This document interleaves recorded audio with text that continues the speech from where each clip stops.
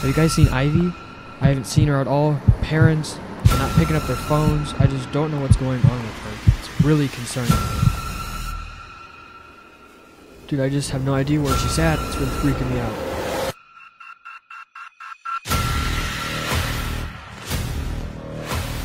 Nobody else is helping me. I don't know where I don't know where her parents are at either.